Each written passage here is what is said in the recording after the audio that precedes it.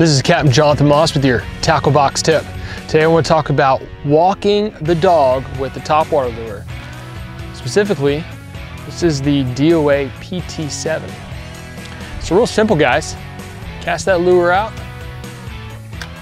and as you begin your retrieve, you're gonna be, what I like to say, knocking on the door. Your wrist is in a motion as if you were actually knocking on someone's door. I'm pushing my wrist forward, allowing that rod tip to go left to right, side to side, and that lure is gonna do the exact same thing, that same exact motion. So when you're out on the flats, give that walk the dog technique a try. You'll see it, it catches fish, redfish, trout, snook, they love it. Even catch tarpon on as well. Tight lines, guys.